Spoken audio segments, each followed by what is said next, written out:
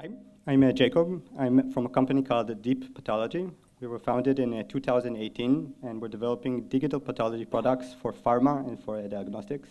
The talk today is about active learning for fast and efficient annotation of medical images. And we'll go for an example of how we're using active learning to build a do-it-yourself tool for pathologists so they can create their own cell detection algorithms.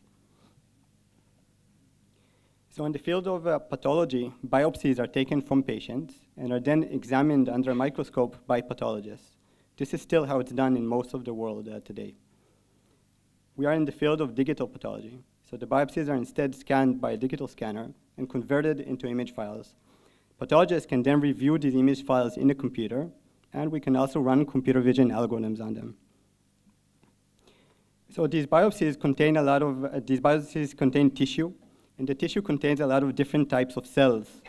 The task of cell detection in pathology is about finding the locations of the cells and their boundary. It's called localization, and understanding the type of every cell, classification. So cell detection is a very important task in pathology.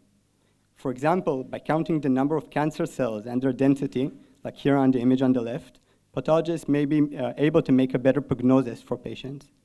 In drug development, by tracking specific types of cells before a drug was given, and then after a drug was given, then pathologists may be uh, able to better understand the effect the drug had. So it's a very important task. So there's a lot of recent work about cell detection in academia, but this work is very academic. And the guys, it, uh, it's staying in, in academia, and the guys that actually need to use cell detection algorithms, the pathologists, aren't using them at all. So this was the motivation for us to develop a do-it-yourself tool for pathologists so they can create cell detection algorithms on their own data. This is a product we're developing called the Cell Detection Studio. So let's say we have a pathologist that wants to be able to uh, detect a specific type of cells. So typically the process to develop something like this will be that first you have an annotation stage, and then you're going to train a model on, uh, on the annotated data, and then you're going to inspect the quality of the model. Maybe you'll go back and decide to train another model, and maybe you'll go back and decide that uh, you want to do more annotation. And the thing we realize is that the annotation is that most of the time is going to be spent in the annotation stage. And the annotation stage is actually very challenging. So first, usually the, uh, the annotation time is very limited. So we're going to end up with just a small portion of the entire available data set uh, actually annotated. Also, usually uh, medical data sets are very unbalanced. So either we're going to end up with too few images from some of the categories, or if you require a minimum number of images from every category, then it's going to take a very long time to cover all that. Also, if we uh, have unbalanced data, that uh, hurts the alertness during the annotation. Because let's say we have a type of cell that's very rare and it appears uh, once in a thousand images, then when we finally see that cell, it will be very easy to miss it because we're not expecting it. So that was the problem we wanted to solve. We wanted to make the annotation a lot more efficient to make the most out of the annotation time. So now let's go over how we're doing that. So first, uh, we developed a, a cell detection uh, algorithm that's uh, able to detect cells in different types of, of images, different types of uh, uh, stainings, uh, image sources. It isn't able to understand the type of every cell, it's only able to find them. So then we can crop these cells and then we can learn a classification model on them to understand their type. So to do annotation for that, we can display the cells in the gallery and quickly go over them and set their type. So we converted the, uh, the object detection problem to a classification problem, which makes the annotation a lot easier. We're also doing something else. So during the annotation itself, there's a model training in the background, and that opens up uh, a few possibilities. One possibility is that then we can use active learning. So instead of just uh, uh, annotating random images, which is what you would uh, usually do, we're going to select the images that we think the pathologist should annotate. So the promise of active learning is that we want to achieve higher accuracy with less data annotation. There are several uh, scenarios in active learning. The most common one is called the pool-based scenario, where we have a large pool of unlabeled data that we're going to select from. So the flow here is that we're going to annotate a few images, then we're going to train a model on these images, and then we're going to uh, use the model and uh, one, uh, some active learning algorithm to rank all the remaining unlabeled images. A rank here means how important is it to annotate each image. So then we're going to select the highest ranking images, we're going to remove them from the pool, and we're going to annotate them next. We're going to do this again and again until we decide to finish. So there's a family of active learning algorithms called uncertainty sampling. And the idea here is that we want to annotate images the algorithm isn't sure about. So let's give an, exa an, an example of a very common but uh, simple active learning algorithm. So let's say we have a classification model that's uh, outputting a, a, probability vector P. It's after a softmax layer, so it has probabilities.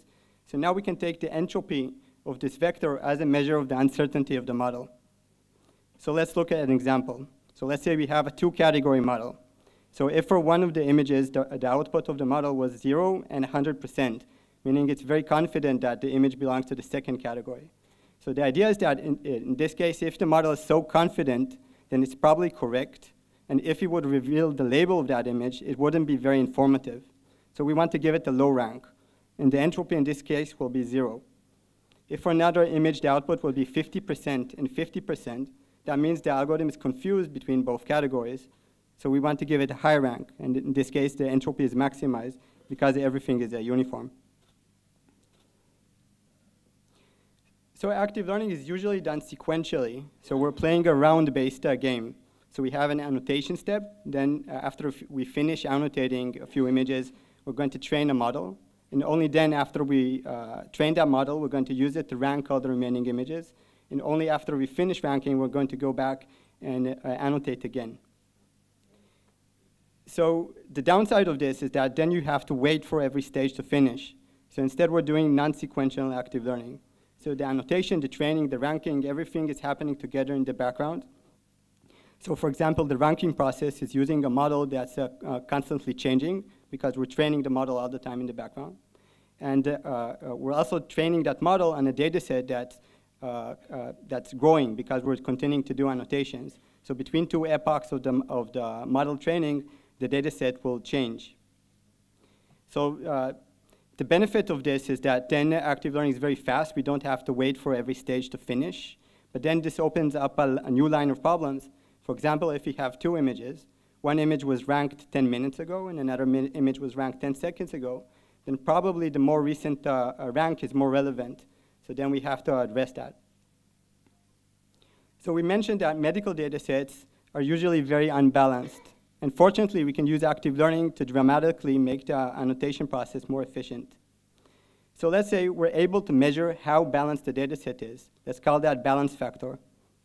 So when balance factor is high, we want to use regular active learning, meaning we want to fetch difficult images and annotate them. When the when balance factor is low, the data set is unbalanced, then we want to focus on balancing the data set. So how can we do that? One way is that if we're looking at the minority category score of images, then when the minority category score is high, it probably means that the image uh, belongs to the minority category. So if it would fetch that image, it would balance the data set. So now we can think of a new ranking function that has two terms. The first term just does regular active learning uh, when the data set is balanced. And the second term focuses on balancing the dataset when the dataset is unbalanced. So in between, we want to fetch difficult images that will also balance the dataset. So how can we measure how uh, uh, balanced the dataset is? So first, we need to count the portions of every category in the dataset. For example, maybe 90% of the images belong to the first category and 10% belong to the second category. So we want to measure balance factor that's highest when the dataset is perfectly balanced. We have the same number of images from every category and we want it to be low when we have images from only one category. So we can think of a few ways to achieve that. For example, if we take the entropy of uh, uh, the portion vector D, then the entropy will be zero when we have images from only one category in the data set, and it will be maximized when we have the same number of images from every category. Because of how we're using this, uh, here we want it to be bet between zero and one, so we also want to normalize it. So we'll have to divide the entropy by the maximum value the entropy can achieve, which is log the number of categories. We can also look at, the, uh, uh, as another example, we can look at the maximum value of D. So when the data set is uh, perfectly balanced, the maximum value will be very low. It will be 1 divided by n. And when the data set has images from only one category, then the maximum value will be 1. So then we can take 1 minus the maximum value as another measure. Uh, so now we're going to uh, see everything in action. So uh, this is a video uh, recorded from the Cell Detection Studio, which is a product we're going to release uh, soon. So this is a kidney slide that a pathologist gave us, and he asked us to detect all the red cells in the slide. So now we're detecting the cells, and we can then display them in a gallery to set uh, their type. So we're going, uh, we're showing the detected cells in the gallery, and we quickly go, we're going over them and setting the type. So when we have enough images from every category, a model starts to train in the background. And Then we can use that model uh, to, uh, and an active learning algorithm to rank all the remaining unlabeled images.